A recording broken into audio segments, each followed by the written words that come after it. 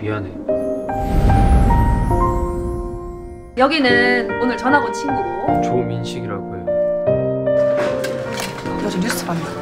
뭐 뉴스?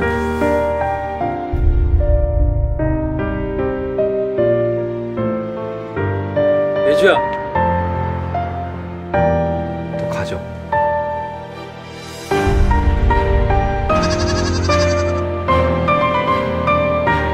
내가 사와줄게. 진짜 귀엽다.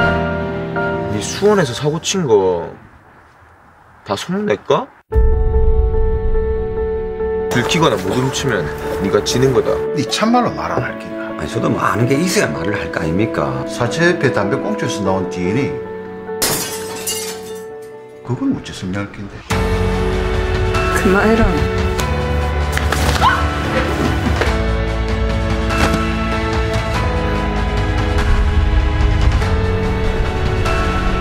무혐의로 풀려난 살인마의 딸. 자, 얼굴 드시고. 잘안 지워지더라.